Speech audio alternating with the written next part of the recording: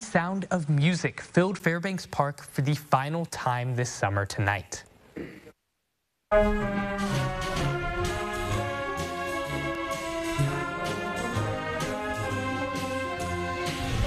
There is just a taste of their performance. That is the Terre Haute Community Band holding its final concert of the season. The theme for the show was Back Home Again in Indiana. The show featured music from Indiana and local composers. First year principal conductor Norman Hanson says he appreciates the community's support that they've seen throughout the year.